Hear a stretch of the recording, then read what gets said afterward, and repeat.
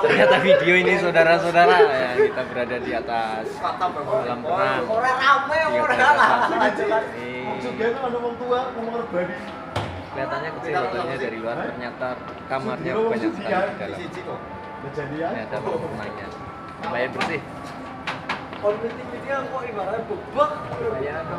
kedalaman 125 cm ini bisa buat berenang untuk dewasa di anak-anak ada yang di ya lokasi yang satunya lagi tuh yang 90 cm youtuber ya oh ini ada Kok indah sosok Mbak dua. KPMD KPM dari Kapasitas dua kayak gue.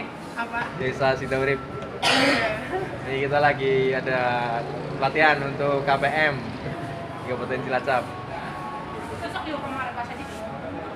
Orang lemari ini lah. Orang